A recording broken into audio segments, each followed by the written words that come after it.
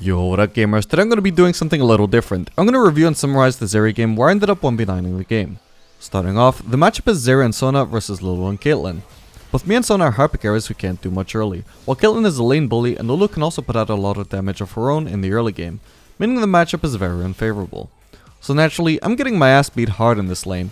I mean, I am just straight up getting ass blasted. I'm Rihanna and Caitlyn is Chris Brown and I am just straight up not having a good time at all in this lane right now. You can see we're at least able to drop Lulu to low HP at one point, but Caitlyn's full HP, I am low HP, and Sona has no more mana to keep healing with me with, so we're still in a really bad spot. It's bad to the point where Lulu at one point literally just recalls in a brush while Caitlyn continues pushing us under turret 1v2, and we can't possibly do anything to punish it because we're both just too low to get in her range. So the lane continues to be just a similar disaster to compared to what you've just been watching, up until this Caitlyn ult on the Nasus. Doesn't seem very significant at all, does it? But as she enters in the lane again, I suddenly notice, hey, this Caitlyn has no mana whatsoever. What is she gonna do if I just ghost up to her? Considering Lulu seems to be in base or something. So she's running, running, and boom, we eventually get the flash.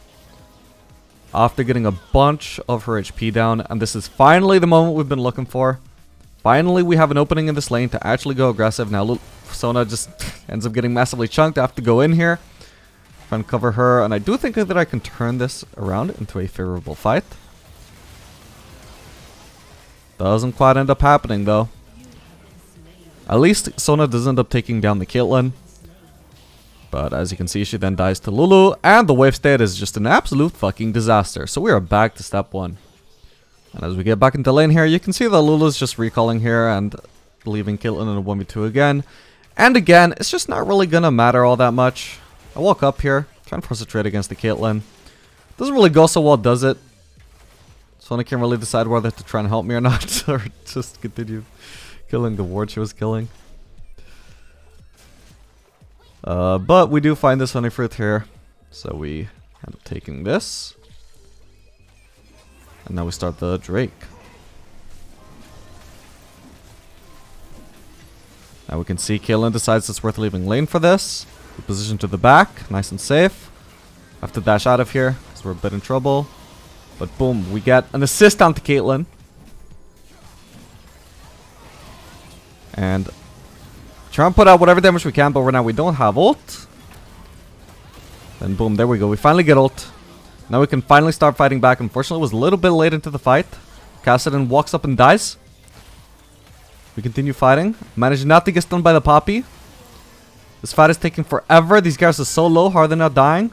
Here we go. They finally die. Then after that, we finally we have a triple kill. We we're getting stumped so hard. We get one good fight where we just play nice and patient and safe. Well, safe, you know, up until the very end where we were face stacking three people. But, you know, safe until we needed to stop playing safe. And we got a triple kill. Just like that. We're back in this game. Finally. So we grab our Noon Quiver and our Quick Cloak and back into lane we go. And now just immediately getting a J4 gank. So we play, we do a little bit of the baiting. And now remember, Caitlyn has no flash because I already forced that earlier when I ghosted. During that time when she had no mana. So because of that, that seemingly insignificant moment that didn't actually lead to much, she actually does die in that gank since she already had to use E to get out of my range. And boom, we get massively chunked down by the Poppy, but we live. Then we can start lifestealing back with the Vamp Scepter. Bully Poppy off of her passive. Pop the Ghost. Gonna try and go aggressive here. We just get away from the wall so she can't stun us. Gonna dash into her, finish her off. Unfortunately, this Kassadin has, has no mana, but it doesn't matter because apparently he has enough mana. So we still die. But at least my team should be able to easily clean this up. So we have J4 here just um, backing off from the, auto the. This one auto attack away from death. Fails to auto attack him again when he dashes in. And, well, that fight turned out to be a complete disaster, didn't it? Just barely. Can I maybe cheese this guy? No, I can't. So all I can do is we just head back bot lane. And we just farm the waves. So we see some action going on mid lane. And we think to ourselves, hey, the enemy team must be pretty distracted here. Let's go for this plating. Kassadin's on his way. That's fine. We can escape from Kassadin. Jump through the wall. Oop, there's a Poppy here. That's fine. We just angle ourselves in a way where her E won't stun us against the wall. So naturally we do still obviously get stunned against the wall because that's how Poppy works. get slowed right as Sona manages to stun them, so I don't make any escape whatsoever while they're stunned, and we end up dying. Whoops. So naturally we just go lane and do it again. Walk up, start hitting the wave. Bully the Kassadin a little bit, force him away. And yeah, we're just gonna farm the waves again. Now we could have gone mid to farm, naturally. But why didn't we do that? Well, we can see that we have every one of our team members on top lane. And so that means that after they're done on top lane, you know, somebody's going to be able to rotate to another lane and start farming that. Are they going to be able to rotate towards bot? No, bot lane is way too far away from top lane. The only way they can rotate to a lane where they can farm is if mid lane is free for them. So I have to leave mid, leave mid free for them. And we just farm bot lane instead. Now, nobody actually rotated towards mid. So uh, we actually lose two turrets. But, uh, you know what? If I hadn't defended the bot lane turret, then I still would have lost that one. And I didn't exactly know in advance that none of my team was to defend that. So, it is what it is. We lose the turret, but we go mid. Group here. This is where we want to be. So we farm the first mid wave. Then we farm the raptors. Then we farm yet another mid wave. And so, you know, we're just chilling. We're just chilling maximizing our farm and just waiting for an opportunity to actually do something. And what do you know? We may have found one here. We actually just see Kayle ulting randomly from our own jungle, so I guess we're just going to try and flank her. Uh, that was an unfortunate moment for me to try and dash into her right as she walked away. And uh, unfortunately, she just manages to somehow pull off an escape there. Whoops. Anyways, got a kill on Lulu. Melting away at the unkillable poppies and Aatroxes. They're trying to get away, but I'm not going to let them do that. I'm going to be an annoying fly. Just never letting go. Until eventually, you know, there's the Poppy Flashy with a W. I couldn't have dashed even if I wanted to. And I'm just dead, just like that. But you know what? At least I got a kill. And it was an okay fight for my team. Wasn't a stomping win, but you know what? Considering how far behind we were, I'll take it. So we're from another wave. We get some vision there. And we go to farm another wave. Because you can see right now that my Gragas is mid lane. So as much as I'd like to be mid and gathering farm on mid, we're got the protection of, you know, everybody who's surrounding mid. I'm going to go side lane by myself. Because it's the only way I'm going to get farm. Then once we're done with that, we head over here. And boom, I accidentally run into Kassadin. Probably should have taken a safer pathing. This could have been easily avoided. Also failed the dash through the wall. I meant to take a longer Dash through the wall there. If I'd pulled that off, that would have been pretty sick, but I did not, so I die. And then we revive. Head back into our jungle where the enemy team is. Start working on clearing this pink wood. Good thing I don't even need vision of it. And what do you know? This is exactly the same situation as before, I guess. Boom. Caught exactly in the same place.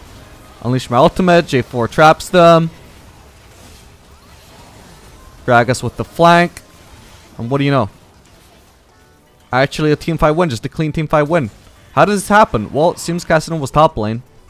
But honestly, even if he'd been there, I don't think it would have made too much of a difference. I think their team got called way too hard there. So while my team does the Drake, you know what? I'm going to take advantage of this and just get some more farm. My team does not need me to do Drake. That would be overkill. We may as well have somebody farming the spot wave. Also may as well have somebody headed towards mid. Uh, they're not actually headed mid. But we should have had somebody headed mid to grab that free farm. And hopefully, with any luck, we'll be able to get this turret. Which, of course, we do manage to do. But then we come to our senses and think, hey, maybe it's not the smartest idea to stay here for another wave when the enemies are probably headed towards here to try and kill us. So we're just going to recall. And so, well, well, well, well, well, our fortunes have certainly turned now, haven't they? Because now we went from getting ass blasted in lane to now being 9, 5, and 3. Which, you know, I mean, I've died a lot, but I'm pretty strong. CS could be better, but you know what? Killing CS isn't any better, so it doesn't really matter. And so I'm just chilling here, clearing vision with my buddy Sona, who likes me a lot and would definitely never do anything, like maybe die and uh, get caught for no reason and give the enemies a free Baron. And so after she's done doing exactly that, uh, well, I don't know, let's just try throwing out a bit of poke on in here. I don't think he really cared about that much, to be honest. Yeah, no, I don't think he cared about that one at all. But on the bright side, we got Mr. Nasus here on the bot lane pushing this turret. guess a free turret. That's 600 gold in his pocket, a little bit of gold in my pocket. Now we can safely farm mid because we can be pretty sure that most of the enemies are going to be headed towards the Nasus. They're probably turning their asses around right about now, but that's too late to catch me. So now I can back for this Infinity Edge, which hopefully could be a pretty big power spike to actually do some damage in this game. And maybe turn this game around even. Now, I have no clue how this happened, but it seems this guy's getting collapsed on. I don't know how he did not see that one coming. It's not like the enemies were just completely surrounding him when we went for that kill and play. So he ends up dying. But that's okay. Because at least I get to farm another mid wave as the enemies are still giga distracted with this uh, Nasus. And that one's for giving them Baron, bitch. So naturally I decide here that jumping in 1v2 is the course of action that I should take. Unfortunately it ends in disaster when it turns out that it's actually not 1v2 but 1v3. But we do almost take down the Kassadin, so it should just be a simple case of uh of of uh Really? So that's about when Gragas the hero decided it's all on him to try and save this game and decided to go into a 1v3. Just like me. Except somehow, this actually turns out a lot better for him than it did for me. It just goes to show the hypocrisy of the League of Legends. So he just ends up wasting a lot of their time. Doesn't actually get any kills, but hey. Now they don't get to get the Nexus turret, I guess. Although we do still have Aatrox pushing the top lane turret, which I'm sure somebody will notice and take care of soon, right? Except I guess not. But that's okay. At least we get more farm now. And now I'm decided that I'm just to get the QSS. Because I can either use that for, Lulu, for the Lulu Polymorph, or I can use it for the Poppy E, if, uh, again, Disaster should strike in that regard. Because Poppy E can definitely be unpredictable sometimes. You can also even just use it for the E. The E is actually very, very annoying so far this game. All I do is run, and he makes me not run so fast. So it's it's better if I can run fast. So we finish farming the wave and go over to group with the team. Nice, landing a nice W on the Caitlyn. Now we walk up the front line as usual. Because that's definitely never turned negative this game so far. But Kassadin goes in, randomly dies for absolutely zero reason. So we try and uh, abuse this. Continuing the chase, burning down the Aatrox. Really wishing I'd picked the champion who does more damage right about now. No clue we're killing this. Oh, actually, she's over there. Still. Run out of my ultimate, but we try and do what we can. Yoinking this Caitlyn kill. But that's about it. That's all we're going to be able to pick up. So we're going to go ahead and take the Gromp, because it's very valuable to take away the enemy camps. Also going to go for the Scuttle Crab, because I just like killing Scuttle Crab. I'd rather it goes to me than my jungler. Then we get the Ocean Drake. And that's a nice objective bounty for us. And so we grab ourselves a QSS, and once again find ourselves farming on the mid lane until shortly before Baron comes up, we decide we have seen an opening where we can ambush the enemy top laner. Unfortunately, it seems the enemy team also had the exact same idea. We find ourselves in a 2v2. Our top laner goes down. I do what I can. Turns out it's uh, three people there. So we got to flash away, try and DPS. Once again, I really wish I wasn't playing a Mosquito right now. Somehow Lulu ends up on the front line, so she gets taken down. Aatrox flashes into me. Fucking pathetic. Not even close to killing me, bitch.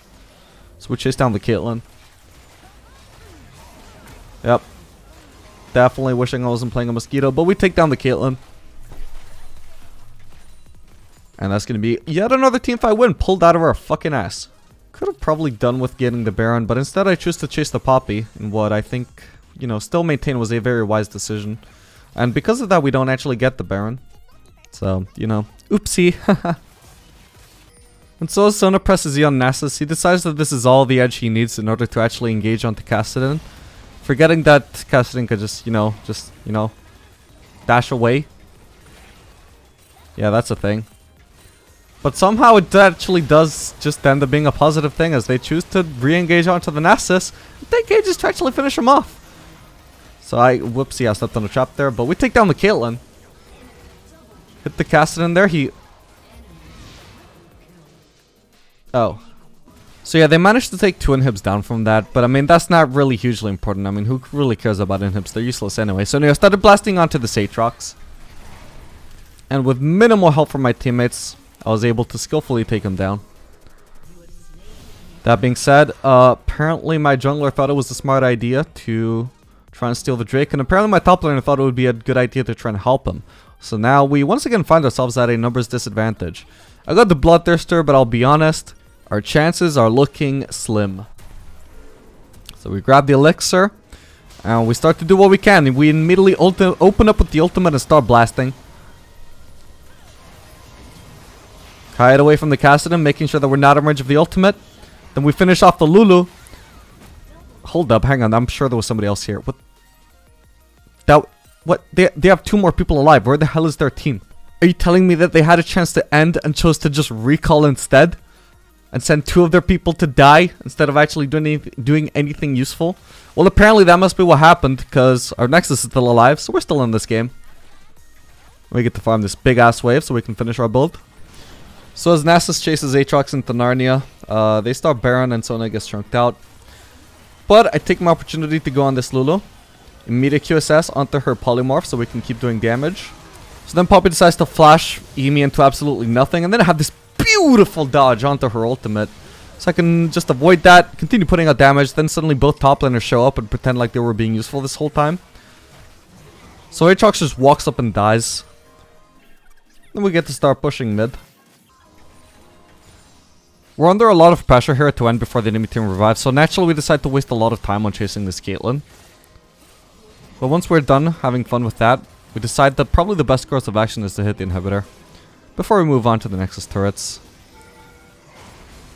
Hit with a nice W there, which actually forces her flash when Straight 4 goes on her again. And in the end, we managed to hit and kill the Nexus. And what was honestly just not even really that close a game. I mean, the enemies obviously did what they could, but I mean, at the end of the day, I'm just really too good at League of Legends. And I had this all under control from minute one, baby. When I was getting my ass rammed under the turret, that was all part of the plan. But anyway, let me know if you found this video, well, not exactly helpful, but let me know if you enjoyed it. If you want something actually helpful, make sure to watch my Zeri guide, which I will leave a link to in the description. I'll see you guys in the next video. Later, gamers.